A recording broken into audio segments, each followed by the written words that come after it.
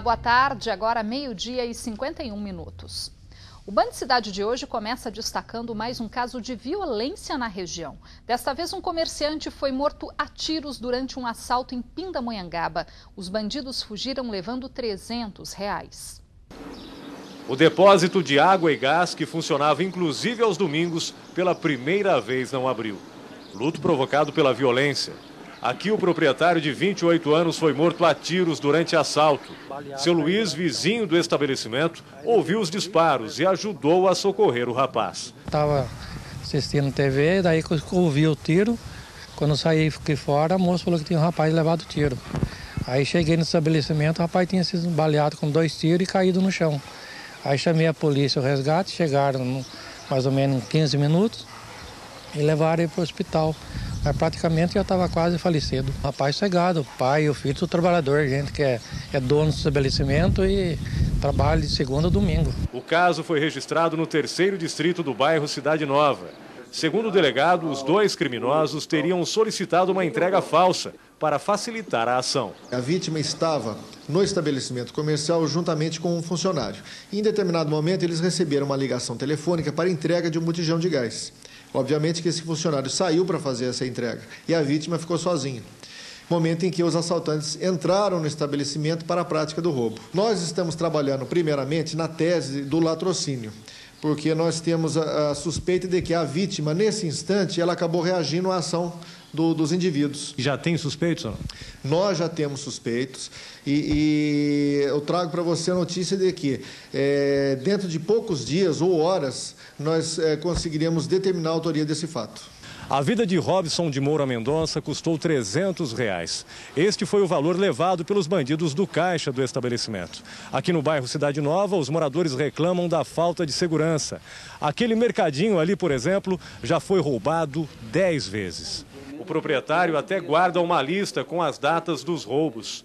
Cansado de ser freguês dos bandidos, ele pede mais policiamento. Quando você passa, que nem aqui no caso você vê, tem uma data de oito dias de um assalto para outro, né? Tem pessoas até que não quer mais nem trabalhar, né? Caso tem uma moça mesmo que trabalhava comigo, ela pediu a conta porque tem medo de ficar. Então a gente trabalha porque realmente necessita, tem precisão, tem que atender a população, mas está ficando crítico. Se os nossos governantes não começar a olhar para isso, a dar prioridade, cada dia tá, vai piorar mais ainda. Em Caraguatatuba, um homem foi morto a facadas nesta madrugada durante um rodeio no bairro Jardim Jaqueira. De acordo com a polícia militar, o acusado pelo crime teria se desentendido com a vítima. Ele foi detido pela polícia militar e encaminhado para a delegacia da cidade. Um roubo inusitado terminou com a prisão de uma quadrilha especializada nesta madrugada na Via Dutra. Bandidos invadiram uma obra às margens da estrada e roubaram duas retroescavadeiras. O roubo aconteceu neste canteiro de obras na altura do quilômetro 134 da viadutra em Caçapava.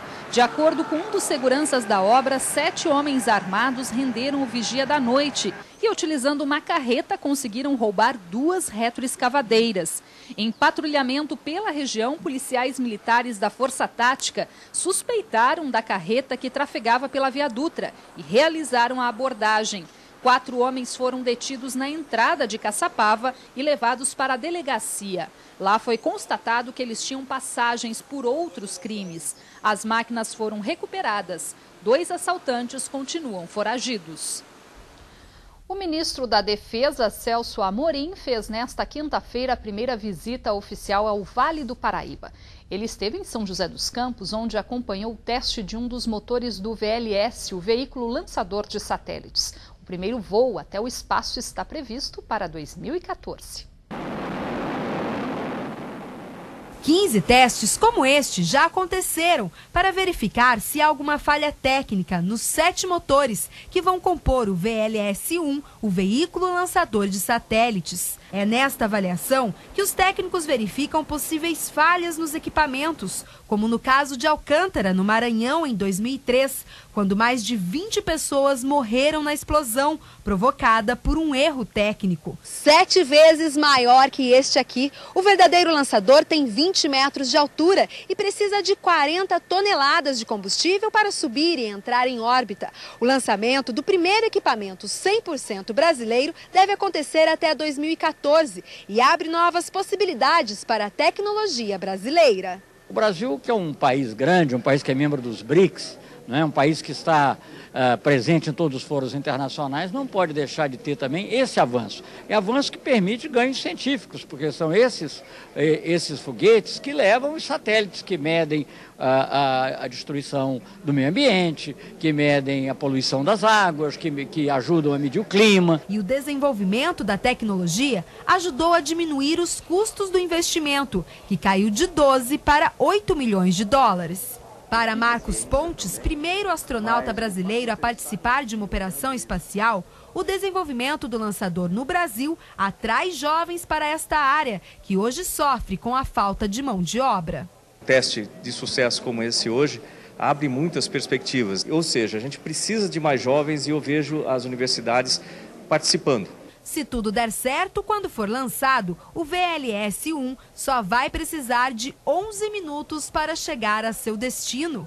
E quem sabe, levando um satélite brasileiro nele. A gente tem condições de lançar, sejam satélites brasileiros, que se desenvolve satélite no Brasil, sejam satélites de qualquer país. O objetivo é que, quando conseguirmos lançar, colocar satélites em órbita, a, a gente participe deste mercado. Em instantes aqui no Band Cidade você acompanha a previsão do tempo para esta tarde ainda estimativas de vendas para as festas de fim de ano será menor em 2011 em relação ao ano passado em Taubaté. No próximo bloco você confere ao vivo os detalhes da pesquisa realizada pela Associação Comercial da cidade. Agora meio-dia e 57